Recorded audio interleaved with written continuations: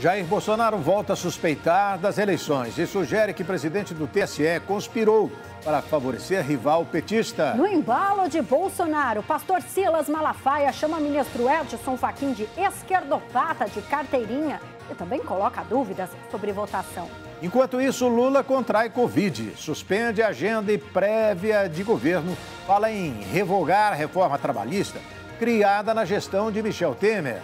E o Queiroz Ex-assessor do caso das rachadinhas se lança ao Congresso e espera apoio da família Bolsonaro.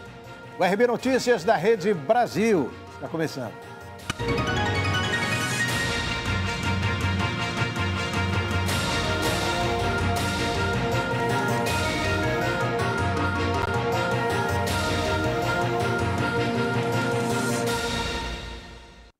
Presidente Bolsonaro voltou a criticar nesta segunda-feira o processo eleitoral brasileiro. Para ele, o presidente do Tribunal Superior Eleitoral, Edson Fachin, faz de tudo para eleger o petista Luiz Inácio Lula da Silva. Em entrevista ao canal Agromais, do Grupo Bandeirantes, Jair Bolsonaro voltou a fazer insinuações sobre as eleições deste ano e a atacar o Tribunal Superior Eleitoral.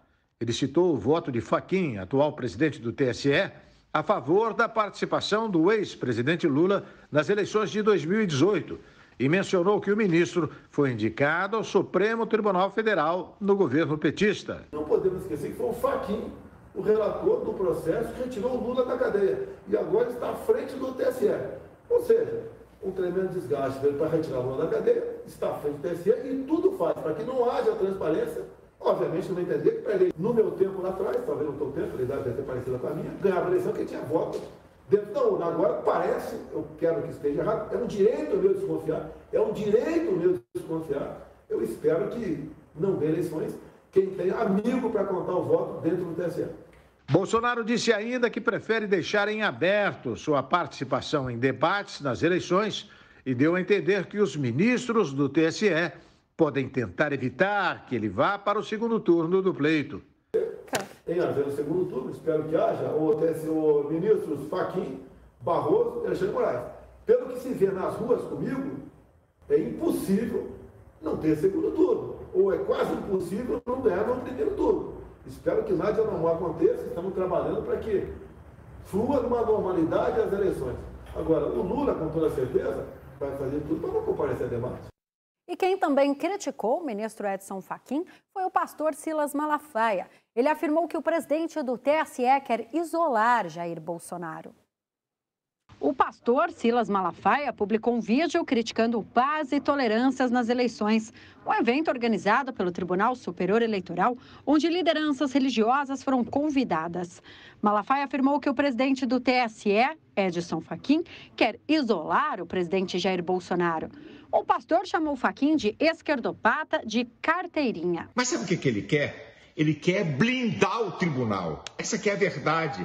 Porque há uma exigência, uma pressão de transparência máxima nas eleições. No discurso, Malafaia relembrou o vídeo em que o ministro pediu votos para ex-presidente Dilma Rousseff, do PT.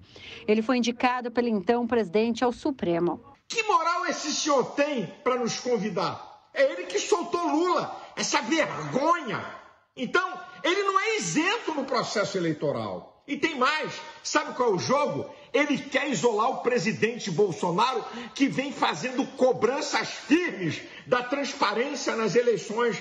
Mas eu quero lembrar quem é Faquim, esquerdopata de carteirinha, que fez campanha para Dilma ser eleita e só está no STF por causa disso.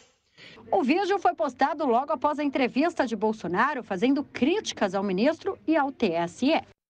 Pois é, e o cerco contra o Supremo Tribunal Federal está violento, hein?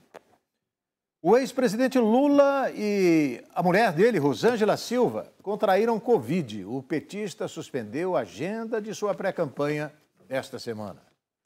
O ex-presidente Luiz Inácio Lula da Silva, do PT, informou neste domingo que está com Covid-19, assim como sua esposa, a socióloga Rosângela da Silva, a Janja.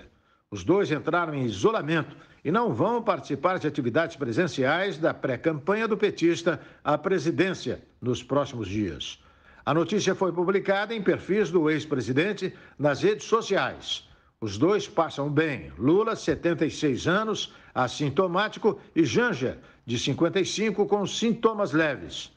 Eles, que se casaram no último dia 18 em cerimônia em São Paulo, ficarão em isolamento e terão acompanhamento médico nos próximos dias, segundo o comunicado. A socióloga costuma ir com o marido aos principais encontros de sua agenda eleitoral. Um boletim assinado pelo médico Roberto Calil Filho e postado no perfil do ex-presidente afirma que ele está sem sintomas para a doença, em bom estado geral, devendo permanecer em isolamento domiciliar nos próximos dias. E vazou para a imprensa o programa de diretrizes de um eventual governo Lula.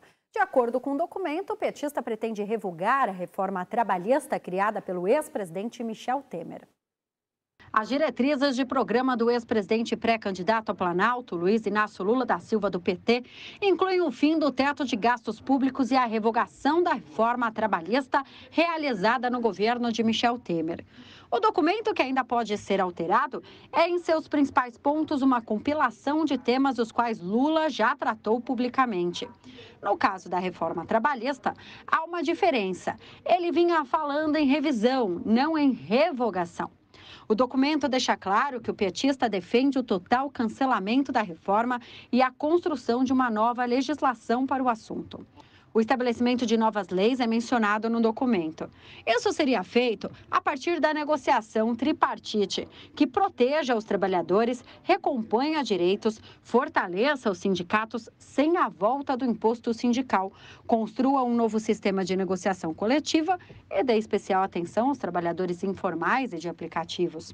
O ex-presidente vem falando que o eventual novo governo seu colocará o pobre no orçamento e o rico no imposto de renda.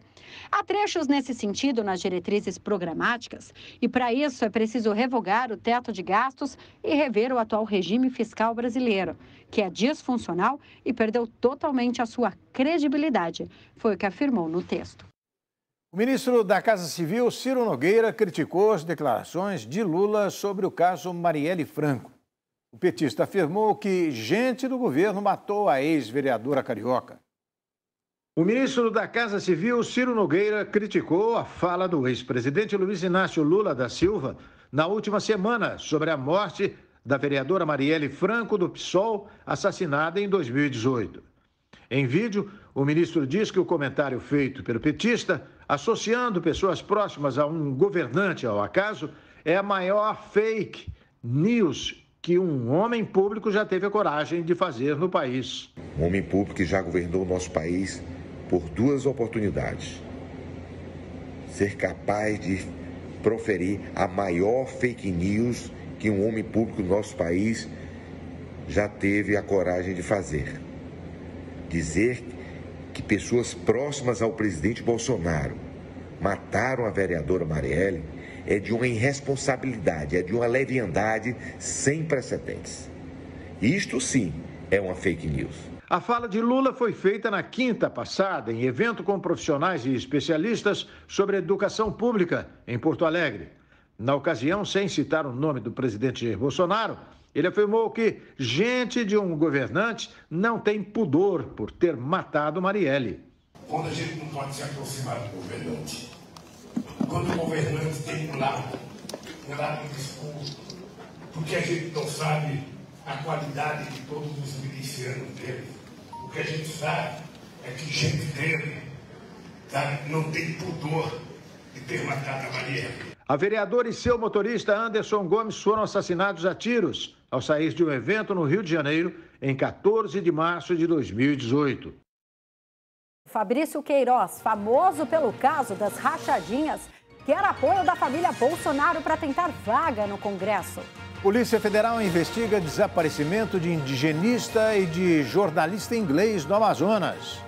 Você acompanha logo depois do intervalo aqui no RB Notícias. Até já.